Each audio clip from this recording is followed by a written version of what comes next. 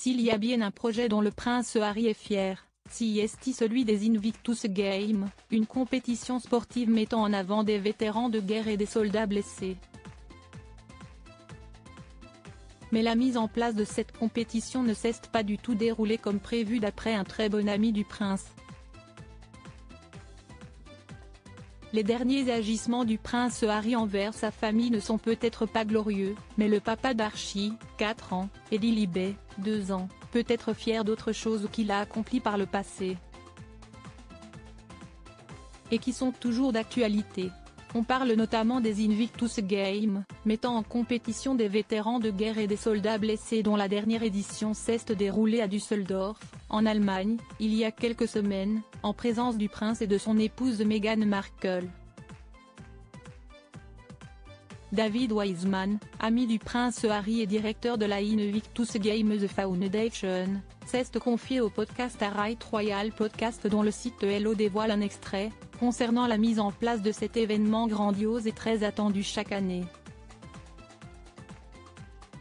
Si est en 2014 que les Invictus Games ont vu le jour, et de ce que l'homme raconte, ce n'était pas prévu ainsi à l'origine.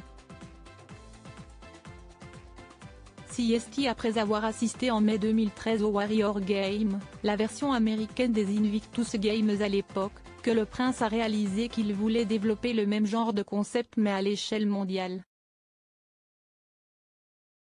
Il en parle alors à ses amis, dont fait partie David Wiseman, pour lancer les Invictus. Sauf que le lendemain de cette prise de conscience, soit quelques heures seulement après avoir évoqué l'idée de pouvoir lancer le même genre de compétition, le prince Harry a annoncé publiquement, sur la scène des Warrior Games, qu'il comptait les lancer dès l'année suivante, nous n'avions pas réalisé le délai qu'il avait en tête.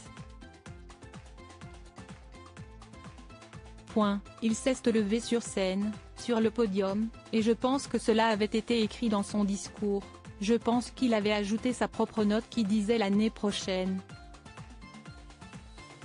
En écoutant le discours du prince Harry, David Wiseman était alors pris de court, ainsi que les autres amis mis dans la confidence.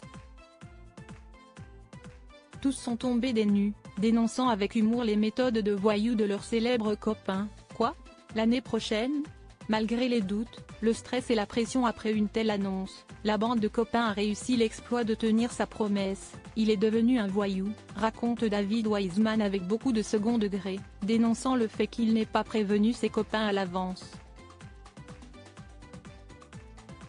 Pendant longtemps, nous étions trois ou quatre à la Fondation Royale à gérer ce projet.